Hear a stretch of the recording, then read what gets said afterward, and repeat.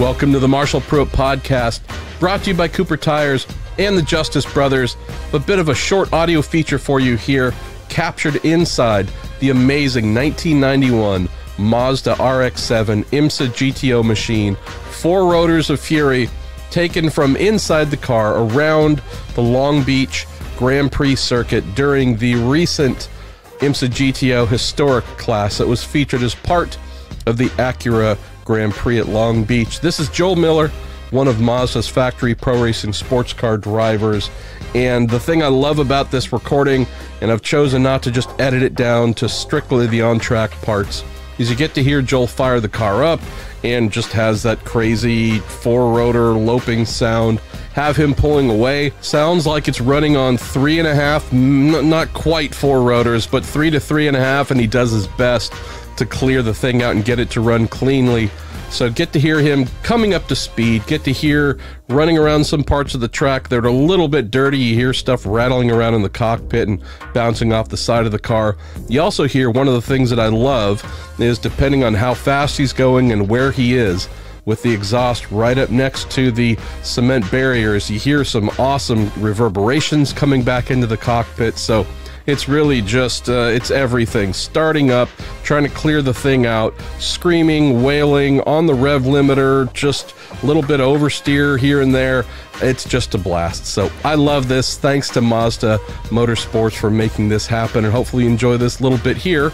Brought to you by Cooper Tires and the Justice Brothers. Thank you.